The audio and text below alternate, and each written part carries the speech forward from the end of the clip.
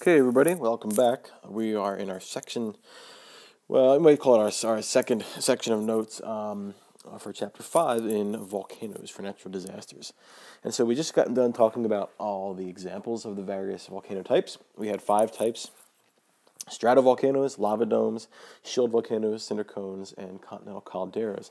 Now we're going to talk about some of the places that are at risk from uh, volcanoes most places that are at risk from volcanoes, and we've mentioned this already, are around the Pacific Ocean. That is the Ring of Fire. Um, this is the same same Ring of Fire that contains most of the earthquakes that, that happen in the world. Um, but the surrounding Pacific Ocean, uh, many, many, many volcanoes.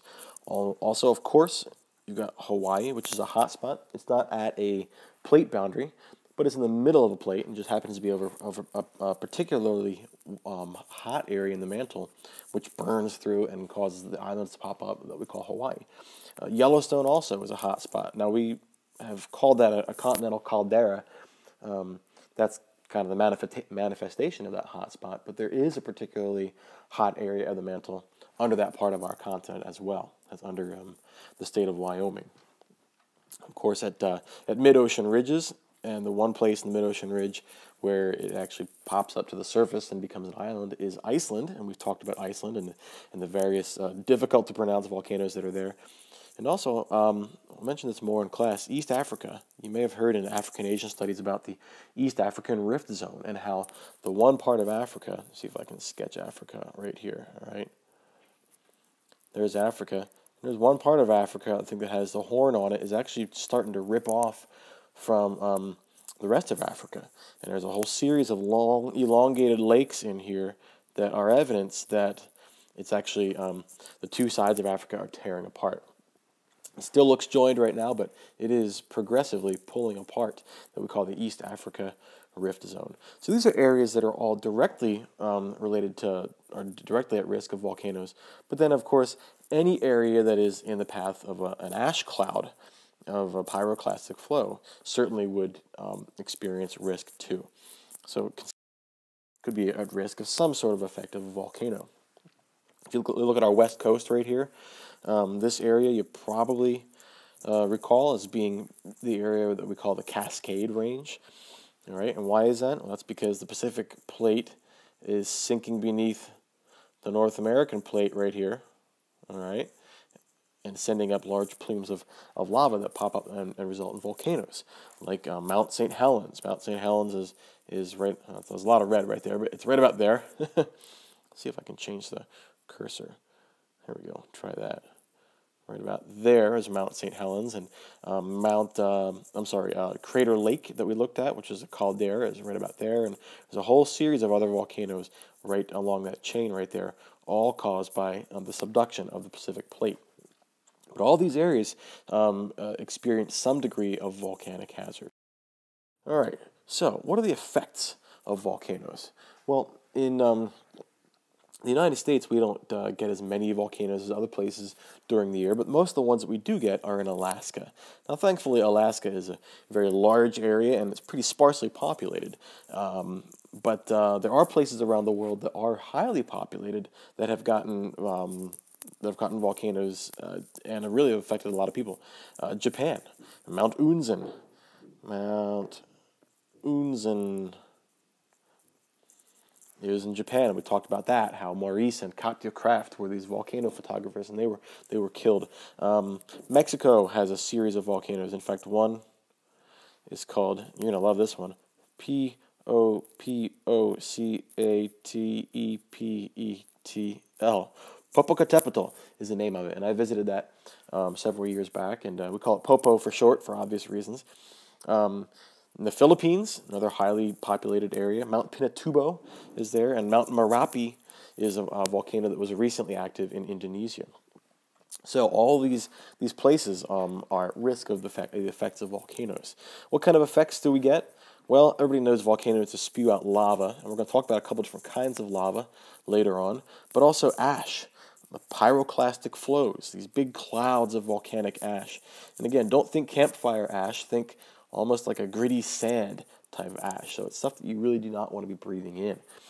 Lateral blasts, well, what that means is instead of So here's a volcano right here, okay? Instead of shooting upwards, some volcanoes shoot out sideways and can affect a much larger area because um, it's actually moving across the land instead of going up and, and, and scattering into the atmosphere. So lateral blasts means, well, like in football, when you lateral something, you throw it sideways. You, th- you lateral the ball, you throw it sideways.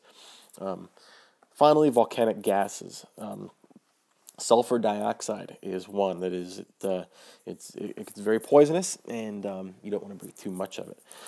Now, secondary effects are, are things that happen as a result of volcanoes but aren't actually from the volcanoes themselves. For example, debris flows and mud flows and, and avalanches and stuff. Well, the avalanche is something that falls down from the mountain, and mud flows involve some sort of water. So ask yourself, okay, where would all the water come from that would cause some sort of a mud flow? Well, that would be snow on top of the mountain. Volcanoes release a lot of heat. Heat melts the snow, and so you have these secondary effects, which are not the volcano erupting themselves, but other risks um, like landslides and mud flows coming down the mountain. Of course, we know all about tsunamis and how um, erupting volcanoes and earthquakes can cause tsunamis as well. And one bigger effect that we don't really think of too much is the fact that there's even been instances of global cooling. Uh, back in the early 1800s, there was a volcano that spewed so much ash into the air, and all these all these little teeny tiny ash bits were in the atmosphere that they actually made the atmosphere cooler. And in fact, they called it the year without a summer because it was not warm in that summer at all. So you can have a short um, time of global cooling as well. So here's a few of the examples of those. We mentioned Mount Vesuvius, or as the Italians call it, Vesuvio. That was what destroyed Pompeii and Herculaneum. Um, we uh, saw a video on Krakatoa, or Krakatoa. Sometimes people call it um, call it that. Mount St. Helens was one big one that affected the United States. About killed almost sixty people, um, and this was pretty recently. And in fact, if you want to look up somebody who is kind of interesting, look up Harry. True. Oh, two R's. Sorry, Harry Truman spelled just like the president, but not the president. Um, this guy was alive in 1980, or at least up until 1980. He was a um, kind of an old curmudgeon who lived at the base of the mountain with a lodge and um, was one of the victims of the volcano, but he was an interesting character, and they interviewed him several times leading up to the eruption. If you want an interesting interview, um, look up Harry Truman. But he was at uh, Mount St. Helens as well as uh, almost 60, 60 others. Mount Unzen, we mentioned, was the one that killed Maurice and Katia Krafft in 1991. And that is a lava dome. It's not um, uh, one of the other types of volcanoes. The type that Mount Unzen is, is a lava dome. Mount Pinatubo affected a large amount of the Philippines in 1991 because of ash clouds. 1995, um, a small island called Montserrat was actually um, many people, many rich people, I think, lived there, and then they had a, uh, I think, a relief effort for Montserrat featuring all kinds of famous um, musicians and artists and celebrities and that kind of thing. But a lot of homes were destroyed in Montserrat. I mentioned Mount Merapi in Indonesia, and of course, there's Aya, Eyjafjallajökull, I'll just pronounce it like that, in, in Iceland in 2010. So a lot of volcanic activity in recent years, but also in um, uh, many centuries ago as well. So here's where most of our volcanoes occur every year. This is off of the Aleutian Islands in Alaska. All right, so this is the northwestern United States right here, and all these islands are because you've got one oceanic plate sinking beneath the other plate right here. And so this is this line indicates a plate boundary. So these volcanoes pop up, and we have the Aleutian Islands. Of course, there's the Cascades in the northeast, northwestern United States as well, and Hawaii is not associated with any plate boundary, but it's at a hot spot, hot spot under the Pacific Plate. All right, so what comes out of volcanoes? Well, most people are familiar with lava, and lava is simply molten rock. And we mentioned the three different kinds of rock that contribute to volcanoes. We've got basaltic rock, which is um, which is very very dark. In fact, I'll draw a chunk of basaltic rock right here. Okay, very very dark and uh, not very much silica in it. So when it when it flows, it's very very runny. That's why it's the most abundant one because it flows out of volcanoes very very easily. Of course, Rhyolite, and this is the same thing as granite. Okay, and you're probably familiar with pink granite. It's mostly light in color, maybe with some dark specks. Okay, mostly light, and a lot of that lightness comes from the fact that there's a lot of silica, high silica. S I L I C A, high silica content. And remember, silica makes lava sticky like sugar. All right, and andesite, well, I'll just draw this as being like half light, half dark. It's not really striped. Okay, but it's got it's a mixture of rhyolite and basalt.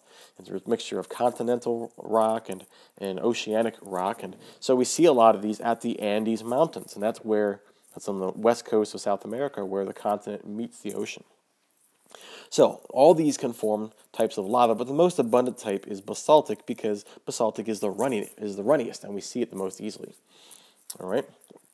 They can run fast enough to possibly catch up with you, um, lava flows. Depends on how steep the hill is. I mean, 30 miles per hour, I don't think I can run that fast. But usually, if the hill is pretty steep, once you're out on a relatively flat area, it slows down um, quite a bit, and you don't need to worry about it chasing you down the street. All right, again, that's because uh, basaltic lava is very runny. Now, I'm going to tell you about two different types of basaltic lava, one of which is called, and we want to pronounce that, it looks like Pahoehoe, but remember this is Hawaiian, or maybe I didn't mention it before, but it is a Hawaiian uh, name. So it's more like this. Pa ho a ho a. So that O and the E are pronounced separately. Ho a ho a. Um, it winds up sounding like pahoehoe when people say it fast, but pahoehoe is, um, is very ropey lava. Uh, I'll show you this on the next slide, but this is very, very runny, and think of it like tomato soup. If you ever had tomato soup and you, and you let that get, um, tomato soup gets, gets cold, or if it cools down, it films like a skin on top and it gets kind of wrinkly. That's what Pahoehoe lava does. It flows very smoothly, but when it kind of starts to cool, it gets wrinkles on top, and it almost looks like rope, uh, like coils of rope. The second one right here, it looks like two A's. It's pronounced ah, ah. It's also a Hawaiian word that, and a lot of times you'll see it with a, a little um, apostrophe right there. You pronounce that ah ah in Hawaiian. That means that it's really kind of blocky and chunky, and I'll show you a picture of that in just a second. Um, some people say that uh, um, Ah lava was uh, got the name because of the sound that you make when you walk over it when it's cooled. Now, of course, if you walk over hot lava, it's going to hurt, but this is so pointy and blocky and chunky that even if you walk over cooled ah Ah lava in your bare feet, it's so jagged that it makes you say ah, ah, ah as you walk over it. I don't know if that's true or not, but that's the name of it. You've got Ah ah lava and Pahoehoe lava, and I'll show you that in just a second. So this is Pahoehoe at the top right here. See the edges of it as it starts to cool, it gets kind of like a wrinkly um, consistency. Some people say that looks like ropes sometimes. And so this is Pahoehoe, O E H O E lava. This stuff down at the bottom is called Aa lava. And take a look at it. All right, it looks pretty blocky and chunky. Now, obviously, it's glowing. Let's see if I can zoom in here a little bit. There we are. It's obviously glowing, so it's obviously hot. But um, when that cools, you probably don't want to be walking over this very much because it's very, very jagged. All right, this right here, this Pahoehoe lava, oops, look at that. Well, it's burning somebody's house down, of course, but after it cooled, you could probably walk over that with no problem because it's very, very smooth. Sometimes the, the, the wrinkly parts get make little um like I said little wrinkles, but it's not jagged at all. So both of those have very different consistencies, but they both flow slowly enough that you don't need to worry about it chasing you down the street. Sometimes lava will also create what are called lava tubes. All right, and lava tubes are areas underground that lava has flowed and no longer has, that is, has run out. So sometimes you can even walk in lava tubes once they've become kind of extinct or dormant. So I would not walk in this lava tube right here, seeing as it how it has active lava in it. This guy, I think, is taking his life into his hands, walking over there. But uh, I'm assuming he's knowing what he's, he knows what he's doing. But this right here, oops, this right here is a lava tube that uh, lava flowed through it at one time, but it no longer is. And so you can walk through it. You can actually see at the very bottom right here how it looks like the lava kind of ran out and like left sort of a flat area on the bottom of the tube. All right, but at one time, both of these areas were very, very um, full of lava flowing through. So you can see lava tubes, and you can go to Hawaii and walk through lava tubes today. All right. Well, the opposite of, not the opposite, but one of the very different types of volcanic activity than lava is what we call pyroclastic activity. Now, pyro means fire, and clastic means fragments. Okay? So literally means fire fragments. All these very, very hot cinders and ash pieces and blocks and chunks of things that are spit out of a volcano. This stuff doesn't flow out it gets kind of spit out in all kind in millions or billions or trillions of little teeny tiny bits, and we see that as, as, as a cloud. So all of this stuff together is known as tephra, T-E-P-H-R-A. But it has all the different pieces has they have different sizes, and so they, they're given different names. It can be called ash, all right, stuff that's sand sized or smaller. Sometimes it's called lapilli if it's a little bit bigger. Sometimes they're called blocks or even bombs. What kind of bombs are actually kind of cool. These are blobs of, of magma that are shot out in the air, and as they spin through the air, they kind of they kind of swirl around through the air, kind of like a football. And by the time they land, they have like these football, kind of like these, spiral stripes on it. So they spin through the air as they fly through, and um, and as they spin around, they get these kind of swirls, and many times they actually cool in the air because of flying through. That by the time they land, they don't splatter; they just land like little footballs. And so you can see all kinds of footballs around volcanoes. Those are called volcanic bombs. All right. So all these all these different things are um, what we call pyroclastic um, fragments. All right. So it can settle lightly like snow, or if they're bigger pieces, they can really rain down on you like rocks. So you really want to be careful pyroclastic fragments. So this right here is a kind of a drawing of a pyroclastic cloud. Um, and you really don't want to be in the way of this thing right here. We saw a couple of videos um, in class of a pyroclastic flow moving down the mountain, and these can move very, very rapidly. If you're living somewhere over here and some of this pyroclastic ash falls on you, yeah, it might kind of, you know, ruin your yard or cover your house or car with, with ash, but it's a little more lightly falling right here. If you're in the way of this pyroclastic flow, you're probably going to get killed because of the very fast, hot moving gases. So this is just light moving ash um, further up here. Speaking of ash, what does it do? All right, well, remember that ash is not like campfire wood ash, but it's like little pieces of sand almost. It's literally little pieces of rock that are so teeny tiny that they kind of can fall lightly. Um, you can have several feet of ash cover thousands of square kilometers. And so um, this is a real problem because the question is, what do you do with all this stuff? All right, it's not like snow that eventually melts. You actually have to uh, physically carry it away somewhere. Um, vegetation absolutely kills uh, vegetation. It, it destroys the surface water uh, reservoirs. It can actually cause I mean, this stuff is pretty heavy, so it can cause structural damage. It can cause your roof to cave in, very much like um, snow can. Um, people can have uh, health problems, difficulty breathing, and even jets can, if the stuff, stuff gets sucked into the engine, um, can flame out and cause the, the turbine engines to stop working, and um, your jet will go down really, really quick. So, activity, this ash, you do not want to mess with. This right here looks like a neighborhood that has pretty much been destroyed by volcanic ash. And this didn't flow down over it horizontally. No, it fell down from above. All right, all this stuff kind of fell down over time and really piled up. Not sure if this neighborhood is. All right, so pyroclastic flows are one type of this ash that comes down the mountain.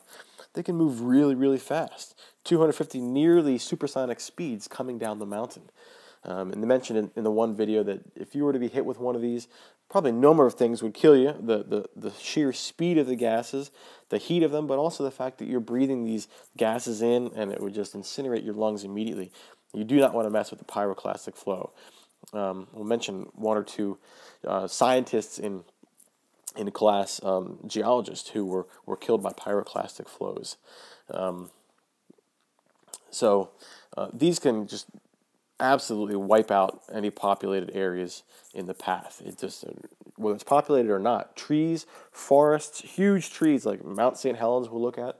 There were huge trees around Mount St. Helens that were just knocked down like matchsticks, all because of this pyro, pyroclastic flow um, that came out. Now, one thing about Mount St. Helens was that it was a lateral blast, and so it literally, so say here's a mountain right here, okay, uh, the eruption moved out that way, and all this pyroclastic flow moved horizontally, which a lot of the stuff on this side of the mountain was absolutely destroyed. A lot of stuff on this side of the mountain was pretty much okay.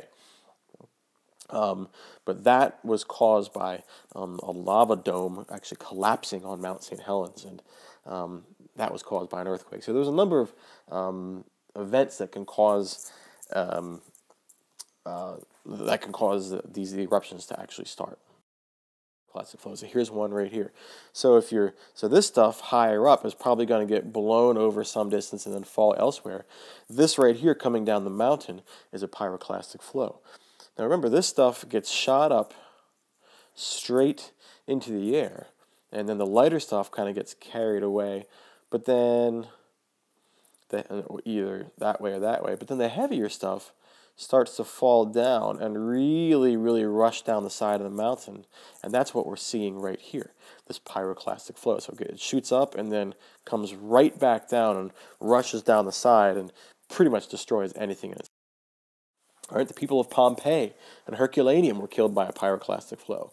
Now remember, these aren't actual people right here, but they're the casts of people as they died. They were covered completely with volcanic ash and uh, and so they chipped the ash away and they broke into these cavities right here. They filled them with plaster and chipped around the plaster, and we could see basically the shapes of the people who were this event right here. Um, so, what kind of gases are kicked out of a volcano um, when it erupts? Well, carbon dioxide is one of them. That's a big one. Um, global warming is, we say, is caused by mm, too much carbon dioxide in the atmosphere, and we know that a lot of volcanoes do kick out a lot of carbon dioxide. Um, but we think humans are even more responsible for that. But most of the carbon dioxide that happens naturally in the atmosphere is caused by volcanoes. But also, there's a lot of water vapor too. Water vapor is a good thing. We need it. Um, but a lot of these other gases um, are bad for us. Now, carbon dioxide isn't really bad for us in that it's poisonous, but if you breathe in carbon dioxide and don't breathe in oxygen, you will suffocate. It doesn't, um, again, it doesn't necessarily poison you, but if you breathe it in at the expense of oxygen, you're not going to be breathing for much longer. But then, of course, there's sulfur dioxide as well. All right, and you know sulfur to be um, a yellowish rock that people say smells like rotten eggs. Um, uh, this can mix with, with rain in the atmosphere and produce acid rain, uh, which can be very damaging to plants and also um, civilization and structures too. Hydrogen sulfide is another one, and carbon monoxide. Carbon monoxide actually is poisonous to you. That's what comes out of the tailpipe of cars, so um, you want to stay away from that. But all these uh, are gases that are, are potentially dangerous uh, to people and plants. Um, like I said, acid rain can destroy plants and make soil unusable and um, VOG. You've heard of smog before. That's like smoke and fog. VOG. I remember hearing about VOG warnings when I was in Hawaii. Um, that's that's kind of shorthand for volcanic smog. All right. So a lot of the stuff that comes out of the volcanoes mixes with some fog, and they call it VOG. And they even give you a VOG, a index. That is, oh, it's a high VOG index today. It's um, I don't know, it's a five on a scale of six or something like that. So that's something that they monitor frequently around the volcano. All right, so what kind of, what are some uh, secondary events that occur from volcanoes? Well, debris flows, mud flows, mudslides, all these are, are secondary events because the volcano doesn't cause them themselves, but it's when you have volcanic stuff mixing with water, like snow on top of the mountain, that stuff starts to rush down.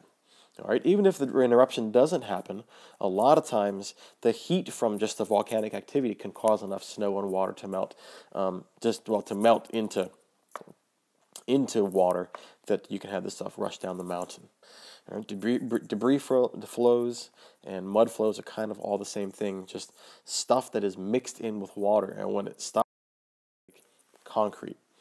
Um, mud flows again, very much like debris flows, but just a little bit finer, but involve lots of water.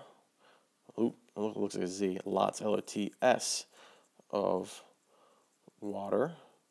Okay, but even landslides as well. There was a huge landslide that that um, occurred on Mount St. Helens. So let me see if I can draw Mount St. Helens again. And all right, that's it from the side right there. And it had this big lump in the side of it, this big bulge right here. And that's what they were monitoring when it erupted. Well, a volcano, I'm sorry, an, erupt, a, uh, an earthquake, I'm sorry, uh, took place that actually kicked off this. And this whole lump slid down the volcano. It's supposed to be an arrowhead right there.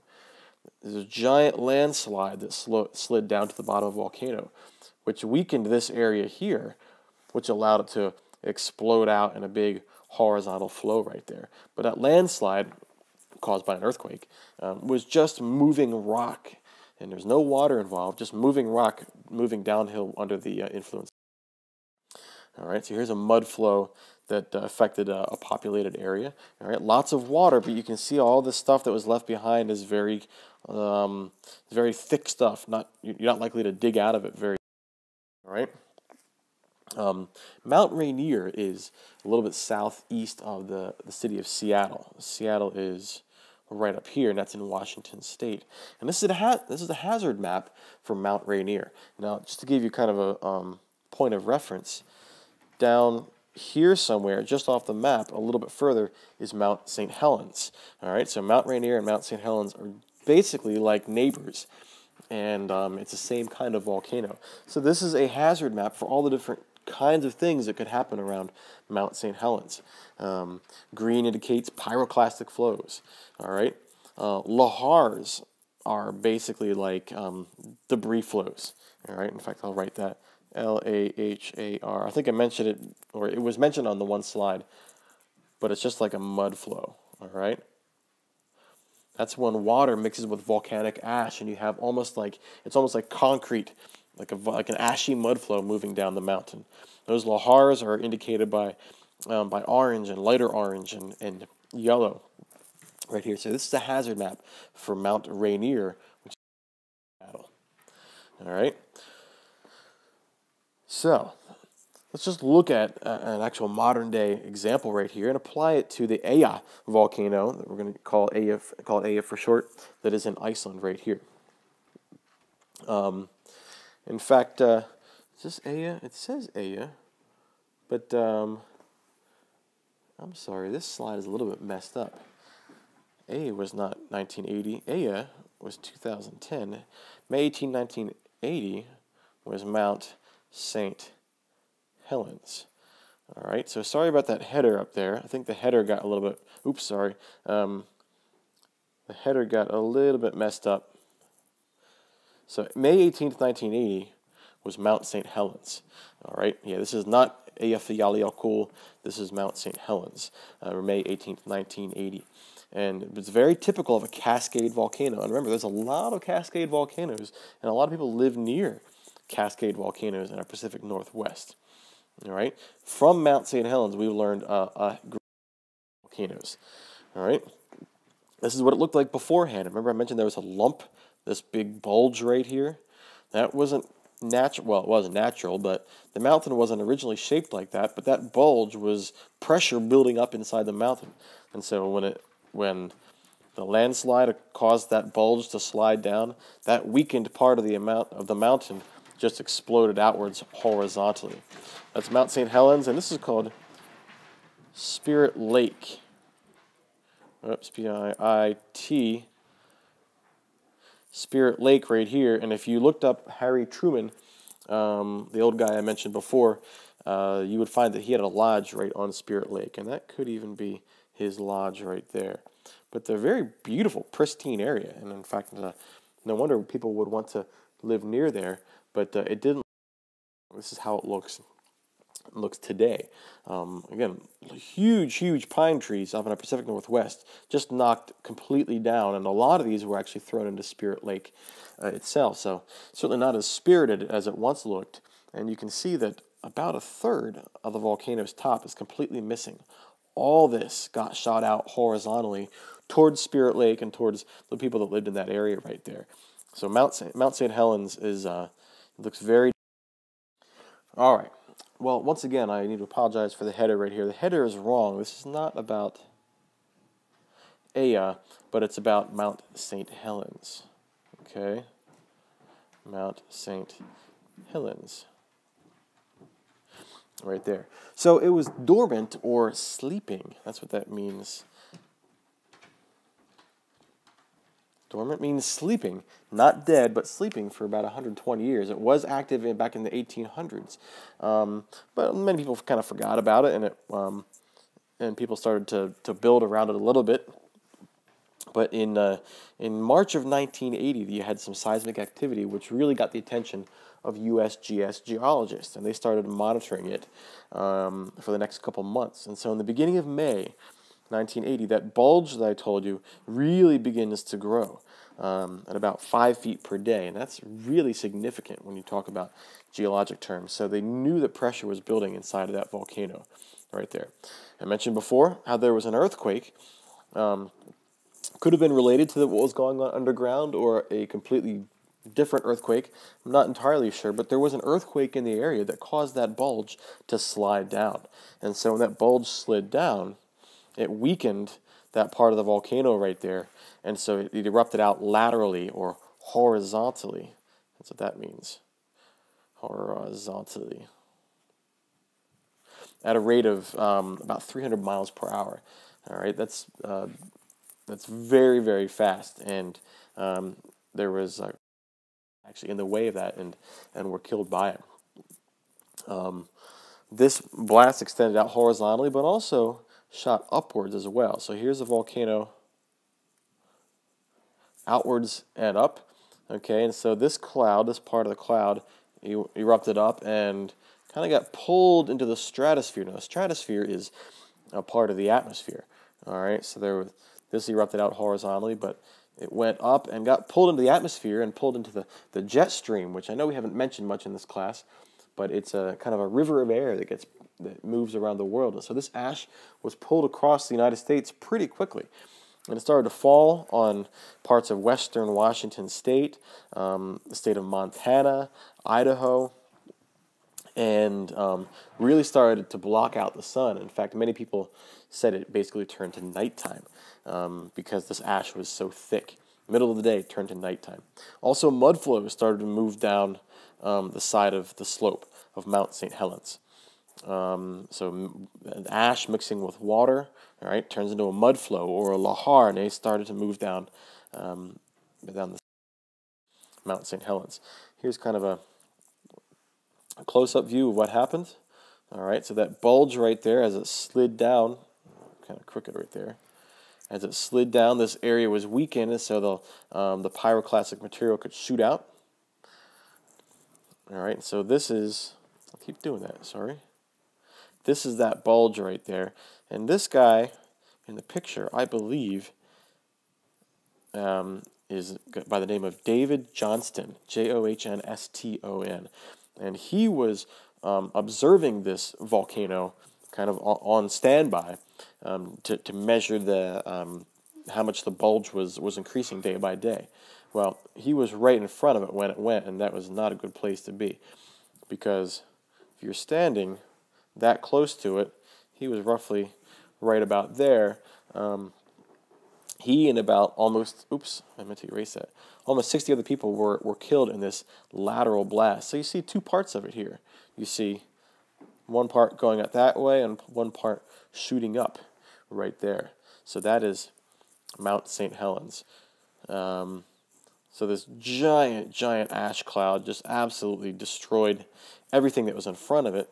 Um, but also shot ash far up into the atmosphere as well. So these were taken from about 10 miles away. So you kind of get to the sense of scale right here.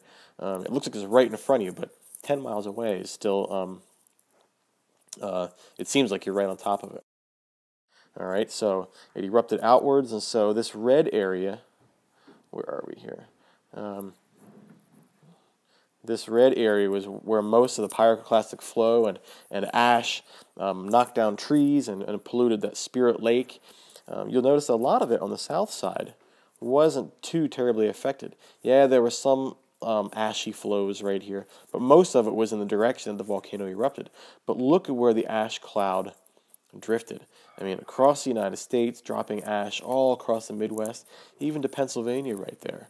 All right, so uh, this kind of S-shaped thing is, um, again, you may have heard on uh, on the news about the jet stream. The jet stream tends to weave north and south, and that's probably what pulled that ash the country um, right there. So this is Mount St. Helens after the eruption. Very, very barren looking. You, you saw the before pictures. It was very green. Here it's very barren. And if you look closely, you can see sort of into the side of that crater. You'll see that the crater is open on this side here, but it's kind of like a kind of like a hood or a collar around that side. So it erupted out that way, all right, leaving this side of the volcano pretty untouched. All right, so that's the summit crater right there, and um, the Toutle River, all right, well, it isn't is flowing very well right now, but this is where a lot of the ash and mud flows um, flow down from Mount St. Helens the Toutle River. We're almost at the end of this section right here. So, in summary, what happened at Mount St. Helens? Well, about 60 people, almost 60 people were killed, one of whom was Harry Truman, T R U M A N. Google or do, some, do a YouTube um, uh, search for, for Harry Truman. You'll find a pretty colorful character. You'll also see David Johnston. D V I D. There's a T in there, J O A N S T O N. Like I said, he was a geologist who was right in front of it when it erupted, and so there's an um, observatory now named after him in his honor because he was killed by that blast. Um, about a billion dollars worth of damage. So that was in 1980 dollars. So uh, by today, it would be much more than one billion dollars and it actually has been um, active since then. There's been a lava dome forming inside that crater floor, and as we look at it in class, we're going to see in the middle of that crater another dome forming, very much like um, in Crater Lake, we have Wizard Island popping up out of the middle. There's another crater, another dome forming in the middle of Mount St. Helens crater as well. So these things aren't just once and done events, but they continue to occur. They continue to happen. So um, Mount St. Helens is a really, really good of, um, of the kinds of things that can happen in volcanoes. So here's that, that kind of collar-shaped crater, and in the middle of it, even in the snow, you can see that it's kicking off heat because snow isn't staying on it, and it's sending out gases, and that dome is rising. So Mount St. Helens could be um, ready to, uh, to erupt in future years as well. So that's going to be it for this section. Thank you for uh, listening and watching, everybody. And we're going to finish out the last bit of the notes um, as a lecture in class. So uh, again, thanks for watching, and uh, I'll see you in class.